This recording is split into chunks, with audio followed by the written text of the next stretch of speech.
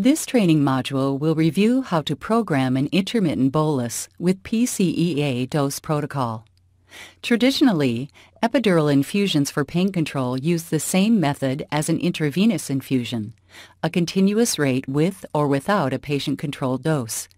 The use of an intermittent bolus instead of a continuous rate offers another method for epidural pain control infusions. The intermittent bolus can be used with or without a patient-controlled dose. It is given on a program schedule that is determined by the value of the bolus interval parameter. These parameters, as well as others, will be further explained later in this training module. When selecting a protocol, you will need to select the therapy, the qualifier, and the drug names, and then enter the appropriate security code, after which you can edit patient-specific parameters and prepare the infusion for the patient. The protocol you will see during this training is just one example of a protocol configuration.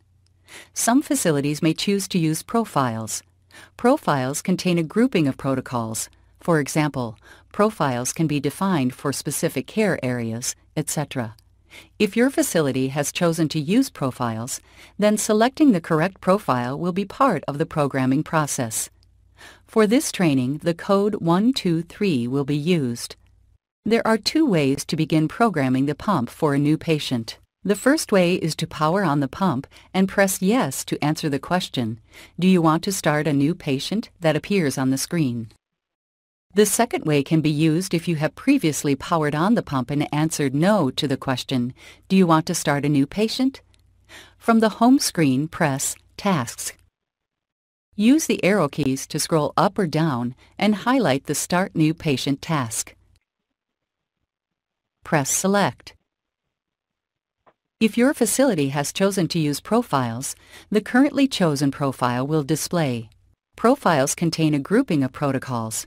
For example, profiles can be defined for specific care areas. Press Yes to confirm that the current profile is correct, or press No to select another profile. If you press Yes, the Select Therapy screen appears and you can begin the protocol selection process. If you press No, the Select Profile screen appears. Use the arrow keys to scroll up or down and highlight the correct profile name.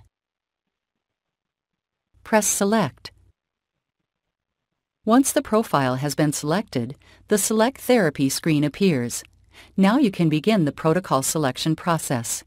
Use the arrow keys to scroll up or down and highlight the therapy name that matches the physician's order press Select. The Select Qualifier screen appears. Notice that the therapy name appears in the protocol title bar. Use the arrow keys to scroll up or down and highlight the qualifier name that matches the physician's order. Press Select. The Select Drug screen appears. Notice that the qualifier name appears in the protocol title bar along with the therapy name. Use the arrow keys to scroll up or down and highlight the drug name or names, units of measure, and concentration that matches the physician's order. The highlighted drug selection may contain multiple drug names and associated concentrations. When the correct drug selection is highlighted, press Select. The drug selection is added to the protocol title bar so that the complete protocol name is displayed. If the drug selection contains a long single drug name or multiple names and concentrations, the text will scroll on the screen.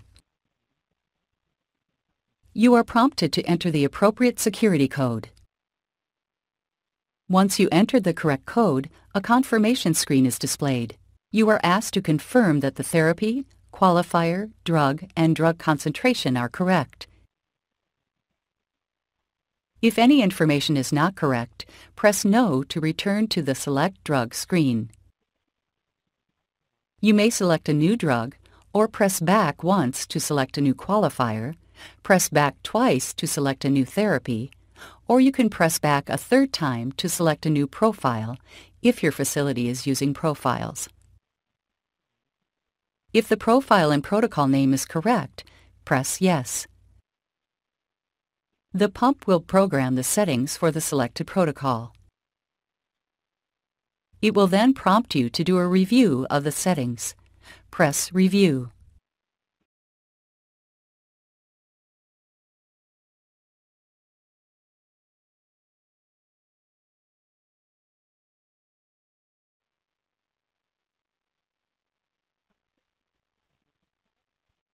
A screen is displayed with the current patient-specific parameters on a clipboard background. You may review and, if necessary, edit the parameters for your specific patient per the physician's orders, or you may press Exit to perform the review later. If you press Exit, the prompt to complete the review will appear after pressing the Stop-Start key to start the pump.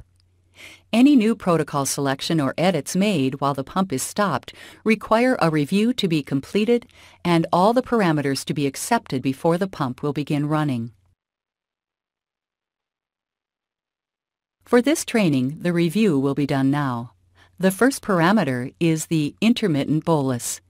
The intermittent bolus is the infusion of a specific volume of drug at the programmed maximum delivery rate.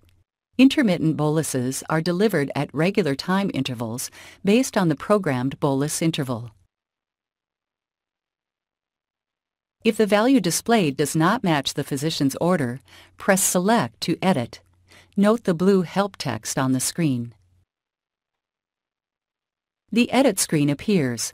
The value is presented next to a green and or amber bar graph. The amber area indicates the area outside the soft limit range. Setting a value in the amber area will change the color of the value from green to amber. Use the arrow keys to scroll the value up or down to match the physician's order. You can press and hold down an arrow key to make the value change more quickly. Tall man, short man numeric display is used to help distinguish between whole numbers and decimals. If the value you select on the edit screen is within the soft limits, you need to press Save. If the value you select on the edit screen is outside the soft limits, you need to press Confirm. You will be asked to confirm an override of a soft limit. Press Yes to save the value or press No to return to the edit screen. Now use the arrow keys to scroll to each patient-specific parameter and review the display value against the physician's order. If any value needs to be edited to match the physician's order, press Select and edit the value. The bolus interval is the amount of time that elapses from the beginning of one intermittent bolus to the beginning of the next intermittent bolus. The next bolus is the length of time between when the pump starts running and when the first intermittent bolus will be delivered. After the initial intermittent bolus is delivered, next bolus functions as a timer to count down the time remaining until the next intermittent bolus is programmed to deliver.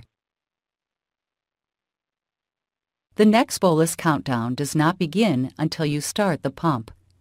Once the pump has been started, the countdown continues even if the pump is subsequently stopped.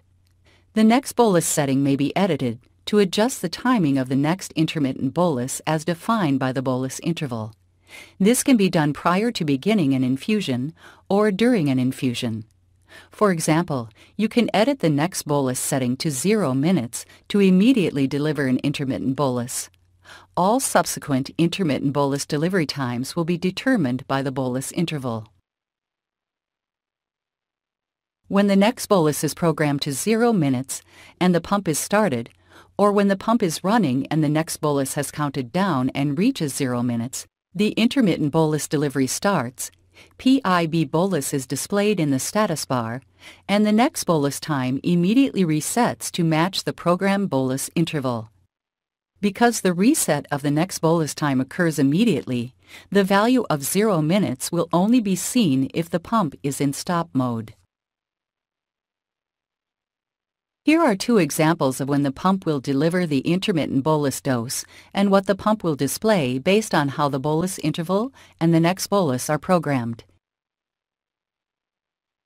In the first example, if bolus interval is programmed to 1 hour 0 minutes and next bolus is programmed to 1 hour 0 minutes when the pump is started, the intermittent bolus will occur in 1 hour. The status bar will display running. Next bolus will display 1 hour 0 minutes and will count down as time passes. In the second example, if bolus interval is programmed to 1 hour 0 minutes and next bolus is programmed to 0 minutes when the pump is started, the intermittent bolus will occur immediately upon starting the pump. The status bar will display PIB bolus. Next bolus will display 1 hour 0 minutes and will count down as time passes. The next bolus parameter can be edited only when the pump is stopped. You must start the pump so it is running at the time the intermittent bolus is due to deliver. Continue to scroll to the rest of the patient-specific parameters until all have been reviewed. If any value needs to be edited to match the physician's order, press Select and edit the value. Once all values are correct, use the arrow keys to scroll up or down to highlight each parameter and press Accept Value. A green checkmark will appear next to each value you accept. Depending on your facility's policy, a second nurse may perform this step.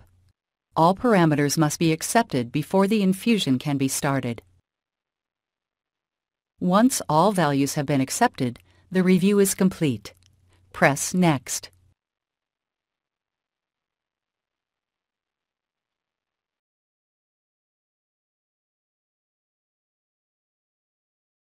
If a clinical advisory note has been entered for a protocol, it will appear on the screen after all values are accepted. Read the note and press OK. You may press Cancel and review the settings and clinical advisory note later before starting the pump. If you have questions about the clinical advisory note, contact your CADD-Solis system administrator. The screen will display a message that says, Cassette not attached. Attach cassette before starting pump. You can now attach a CADD medication cassette reservoir or administration set to the pump, prime the tubing, attach the pump to the patient, and start the infusion. Or you can press Home to return to the Home screen and complete these tasks later. These tasks are covered in the Operations module of this training program.